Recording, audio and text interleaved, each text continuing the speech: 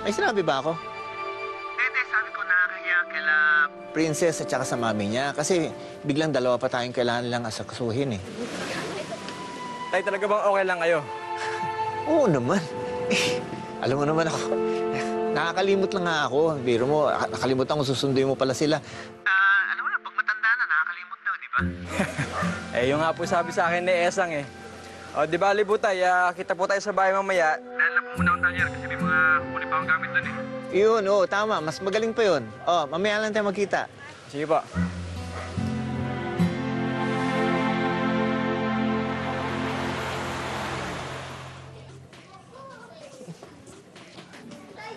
Good afternoon.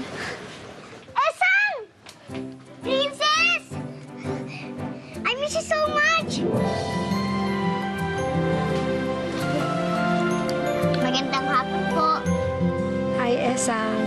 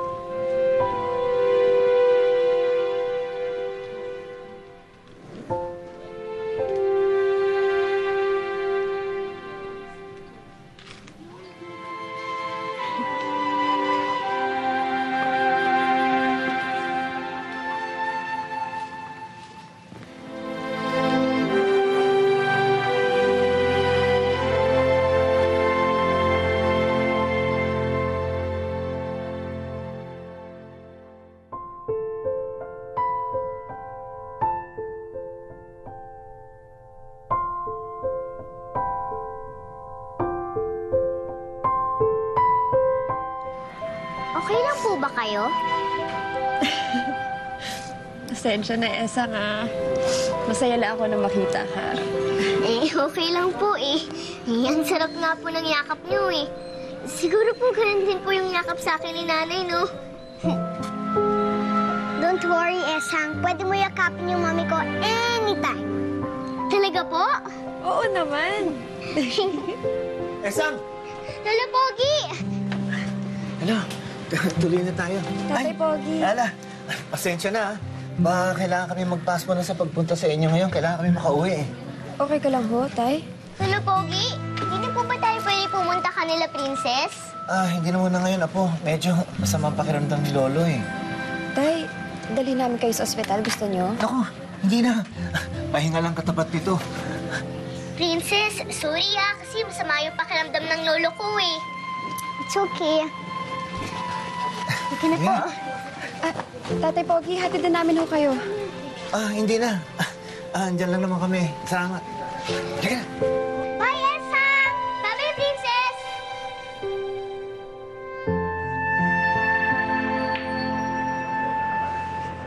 Alam mo, boss, may miss ka namin. Lalo na yung mga sineshare mong ulam. Ano ba kayo? Punta tayo sa bahay, pagluluto ko kayo. Oo nga pala pare. Nakahanap ka ng malilipatan mo. May mga play-play ako pero naghintay ako ng result eh. Boss Joey, sinabi ko naman sa'yo, pwede kang mag-apply abroad. Kaya mag-alala, hindi ko pa kinuklose yung option na yan. Boss! Boss! Boss! Ito na yung gamit nyo. Salamat. Oh, may problema tayo. Ha? May problema. Oh! Anong ginagawa niyo dito? Di ba dapat nasa talir kayo? Hindi sir, kinuha lang naman ni Joey yung gamit niya. At saka late na rin naman kami nagtanghali. At saka may mga karelyebo naman kami doon sa talyer. At sino sabi na pwede commerce ng shop na dala-dala ang gamit mo? Di pa na-inspect yan ah. Boss, ano ibig niyo sabihin? Hindi ko kayang gawin ni Joey o kahit isa man sa amin dito na mamitik ng gamit niyo. Oh, insurance spec. Huwag na, huwag na, huwag na. Sige. Kayo lahat. Kung gusto niyo pa magkatrabaho, bumalik na kayo ng shop. Tara. Siraan mo yun ah. Uy, ano ba? Hindi ba narinig? Pwede na tayo talyer. Bago mo naman tayo trabaho eh. Tara, tara, tara. Boss Joey, Eh, sa'yo tayo. Salamat yes, sir. So na. Ano ba rito? Bad trip yun ah. Sige, sige na. Tuloy na, tuloy na. Okay, madali lang to. Upo lang po muna kayo dito. Oh, sige. Upo lang po muna kayo dyan. ah. Dyan lang po kayo. Kukuha lang po ako ng palangganan tsaka maligamgam na tubig, ah. apo ko talaga.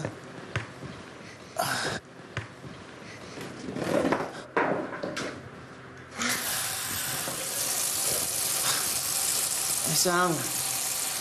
Ako na yan. Ako na ito. Lola!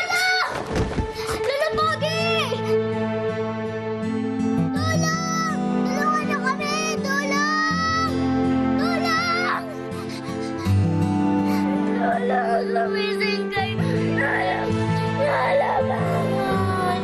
Lola. Lola. Lola! Sa taas, Kuya Joey, kasama si Junjun tsaka si Esang. Maayos na naman si Lolo Pogi, kaya okay lang, papahinga na siya sa taas. Eh, ano raw ba nangyari? Eh, sinabi sa center na tumaas daw ang blood pressure niya. Binigyan siya ng swero na may gamot, bumaba naman, kaya pinauwi na kami.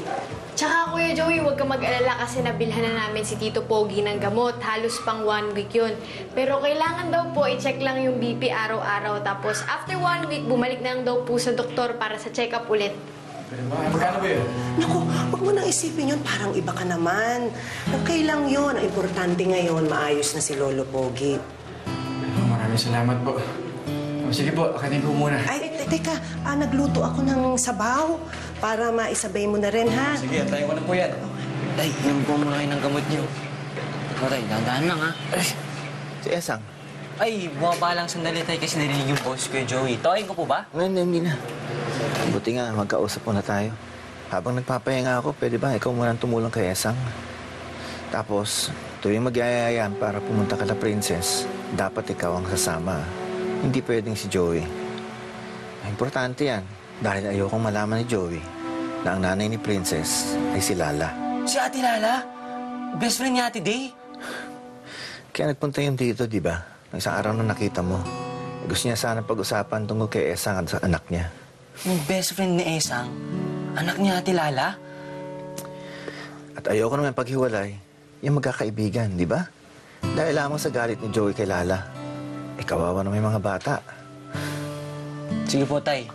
Huwag na kayong ma-stress. Ako na pong bahala dito, ah. Salamat, anak. O, tay, ano ka na ng gamot mo? Joey. Oh, Joey. Musta? Okay naman. Eh, pahinga lang to. Gala ko ng mga kain nyo. Wah. Junjun! Yan mo na mesa! Ay, ito na, kuya. Oh, ang tatay kailangan magpahinga, ah, kaya tayo mag-alis sa gawing bahay. Oh, sige, ako na maghahanda ng susuotin ni Esang sa school. Tuwing umaga pa yan. Sige, ako na sa pagluluto. Sagot ko na rin yung paglalaba at paglilig dito sa bahay. Tatay, mahina pa, kaya ako naman ang sundo kay Esang. Ah, hindi kuya. Sige, ako na lang pong magsusundo kay Esang para hindi ka na mapagod para diretso ka na rito sa bahay, di ba? Teka, may klase ka. Paano susundo? Ay, hindi okay lang naman yun kasi kakatapos ang first quarter namin kaya panay half day lang. Oh, sige, sigurado ka, ah. Oo naman kuya, walang problema. Oh, itong pagkain tatay, dilim mo sa taas. Tapos si Esang, bababain mo na, ah. Ah, tawagin ko lang, kuya. Hindi, ito na to. Sabay mo na yan, tatay yan.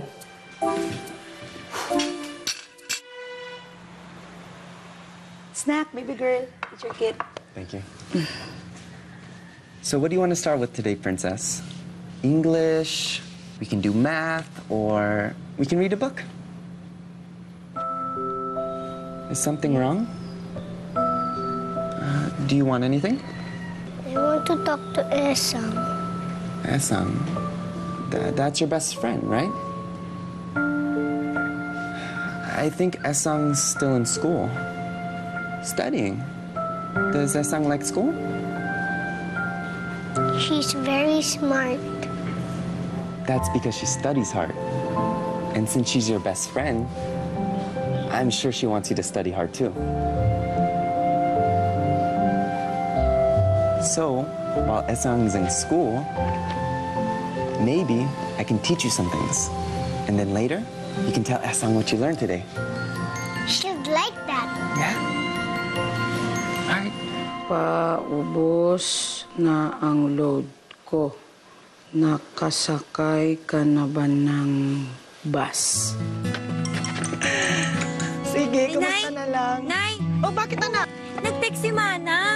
Tinatanong niya kung nakasakay na ako sa bus. Hala, ay sige na, baka mahuli pa kayo sa biyahe. Nadali na. Sige na.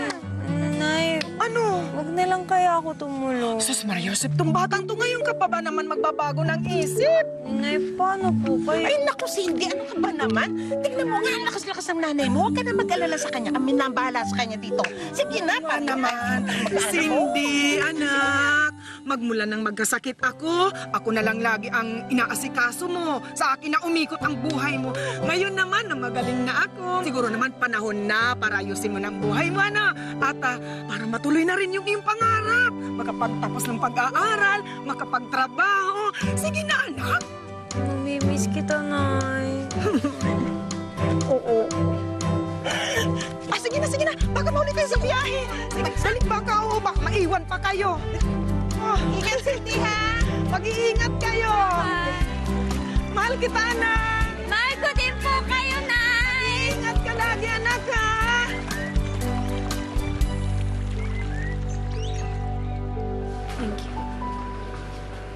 Kit, Mrs. Chavez, um, I just wanted to say goodbye. so uh, how was your first day with Princess? At first, medyo hindi siya responsive. Pero, when she started talking about Esang, eh, biglang may energy siya. Everything was smooth sailing after that. That's that's great to hear. And actually, I'd encourage her to play more with Esang so she has something to look forward to every day. Plus, it should help with her problem of interacting with others. You know what, Kit? I completely agree with you. Anyway, thank you again, Kit. I'll expect you again tomorrow. Yes, ma'am. Tomorrow. I'll walk you out. Yes. Hello? Cindy, nasan ka na? Eh, ito na po, Manang. Papunta na po ako sa terminal. Mahaba-haba pa yung biyahe mo. Magpahinga ka muna. Matagal pa yan. Opo, Manang. Pero pagdating mo ng Maynila, ang bus titigil sa terminal. O bumaba ka doon. Doon kita susunduin. Opo, Manang. Pagdating mo ng Maynila, ha, itago mo ang cellphone mo. Huwag kang makikipag-usap sa kahit na sino. Naku, marami magnanakaw dito sa Maynila. Opo, Manang. O siya, sige Cindy. Kita tayo mamaya. At Manang, O ano? see you soon. Mhm. Naku, ito naman. O siya, sige, see you. Ingat ka. Esang! Tito Batas! Gusto na nga po pala si Lolo. Ah, baka tulog po yun. Pero huwag kang mag-alala, Esang. Okay na okay na daw si Tito Pogi, sabi ni Nanay. Oh. Tito Batas, bilhan po natin si Lolo Pogi ng pasalubong bago po tayo umuwi. Oo ba? Sige, tara. Sige po. Esang! Esang! Ako, oh. Sandali lang. Kumuti, inabutan ko kayo. Nasa si Sir Pogi? Ah, nagkasakit po eh, pero okay naman na po siya ngayon. Oh, ganun ba? Kawawa naman. Eh, paano kasi pinapasundo ni Ma'am Lala si Esang para makapaglaro sila ni Princess? Tito Batas, pwede po ba tayo pumunta kanila, Princess? Sige na, sandali lang naman yun eh. Ihatid ko kayo pa uwi. Sige na po, Tito Batas, humaig na po kayo, please. Sige na po, sandali lang po to. Promise. Ah, hindi po pwede kasi natay kami ni tatay sa bahay. Kahit 30 minutes lang, masaya na si Princess noon. Opo, 30 minutes lang po, promise. Basta 30 minutes lang ha. Opo, promise po yan. Sandali lang po. O, sige. O oh, ayan, eh, alika na, alika na. Ikaw bahala dyan, ha?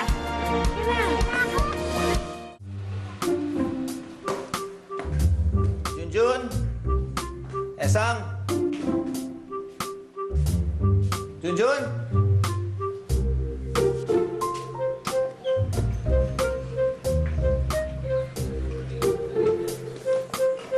Nasaan na yung mga yun?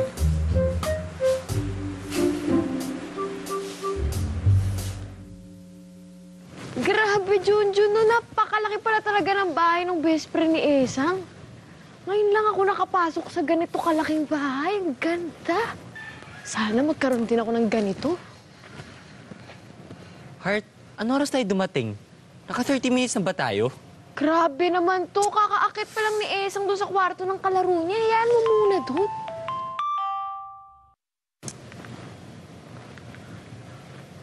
O, Junjun, nag-text si Tito Pogi. Nasa na daw tayo? Ako na lang, akin na. Ano mag-reply?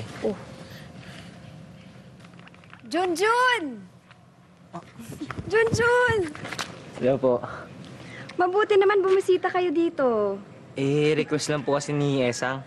Ah, pakilala mo naman ako dyan sa girlfriend mo. Ay! Hindi ko po siya girlfriend. Kababata ko po si Heart, si Ate Lala. Hello po. Hmm, alam mo, dyan nagsisimula yan. Parang hindi mo naman alam yung love story ni Joey tsaka ni Ate Demo.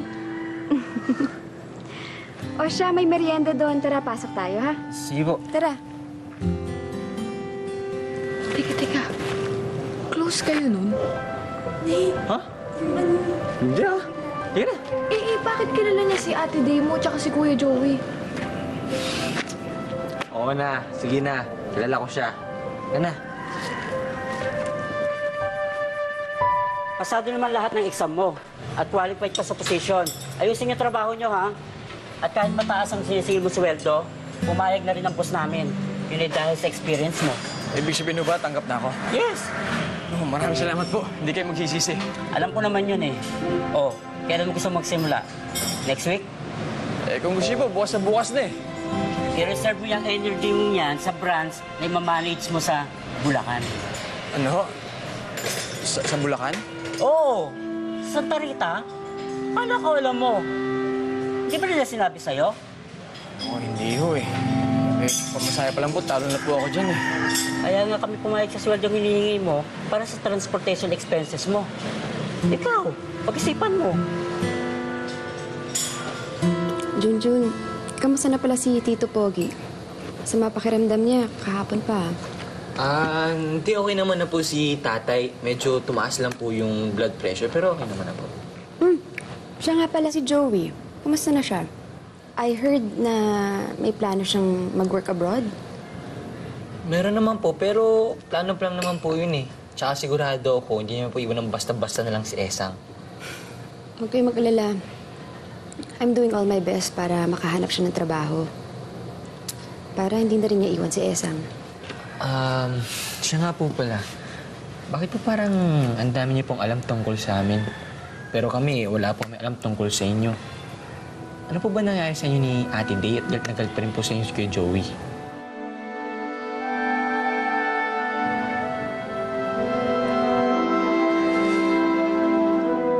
Ah, ang sarap po pala nito. Kain din po kayo. Kumain ka. Sarap? Mm-mm.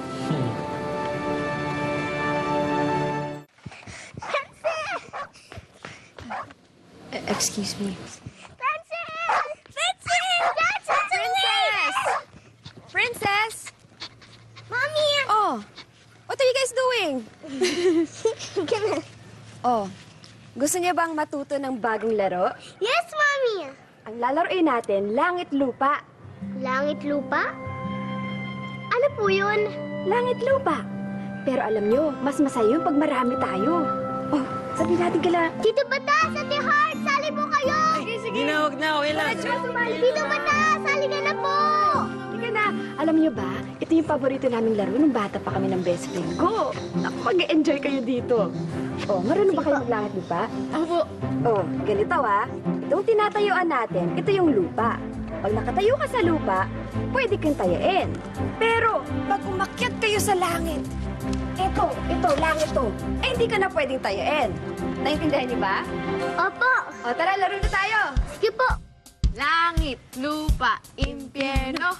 Im, im, impyerno.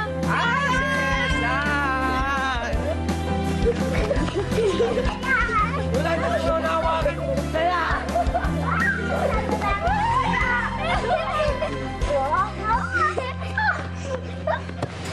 Boss, talagang pasensya na. Lakas pa masahe. Walang problema, Joey. Good luck sa'yo. Salamat to.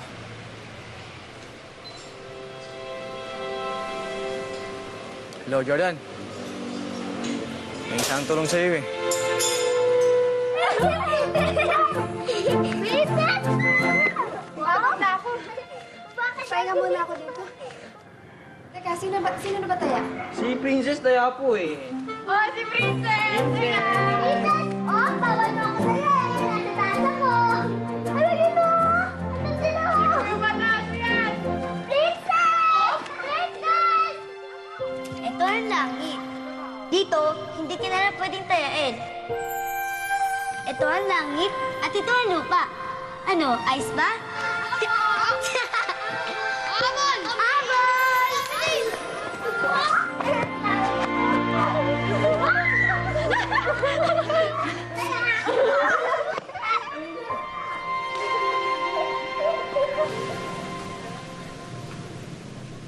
Boss! Boss! Basta? Salamat ah. Okay lang, boss. Ikaw pa. Eh, sakto din naman. Ka-follow up ako ng application ko eh. Pero alam mo, hindi pa bulog kung mag-apply. Boss, okay lang yan. Makakapag-isip ka pa. Matagal din naman ang proseso ng pag-a-apply eh. Maganda rin to, pang fallback mo.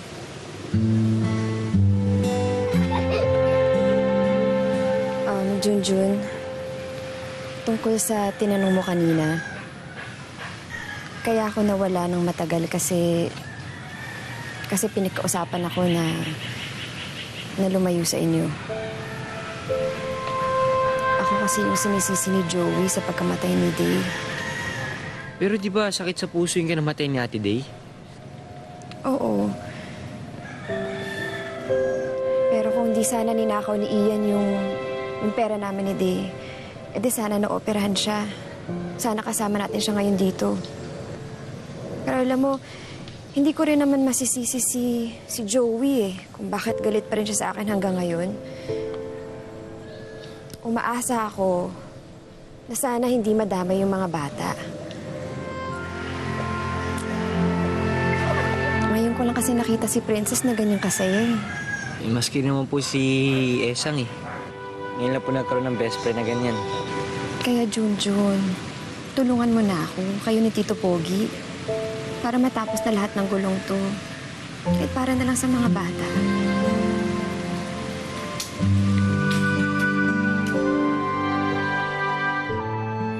Tamang-tama po ang timing ninyo. Minamadali na po yung posisyon na ina-applyan ninyo. Yan po yung requirements na kailangan ninyo para po sa application. Kumpletuhin nyo lang po yan para po ma-forward na po namin application ninyo. Malay nyo, swertihin, baka next month makaalis na kayo.